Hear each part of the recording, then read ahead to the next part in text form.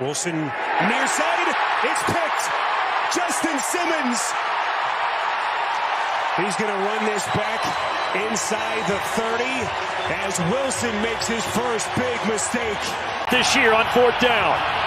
Heinicke rolls. He's got it, but even if he caught it, he was going to be short right there, Justin Simmons. And it's a turnover on downs.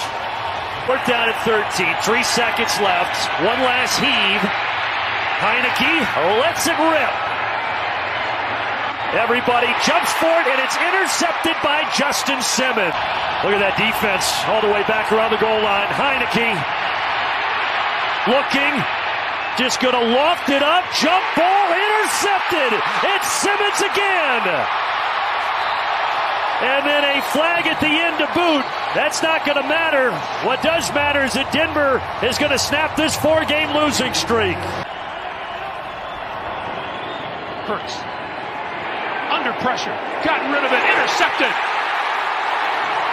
Coming back up the sideline is Justin Simmons. To remember and learn from. Second and four. Jermar Jefferson in the game for the first time today. And a diving interception made at the 12 yard line.